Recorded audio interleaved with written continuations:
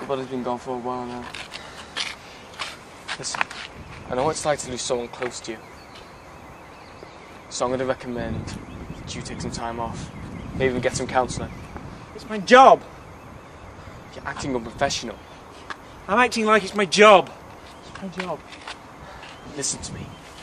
You get the fuck out of here. This is not your job. I'm gonna do my job.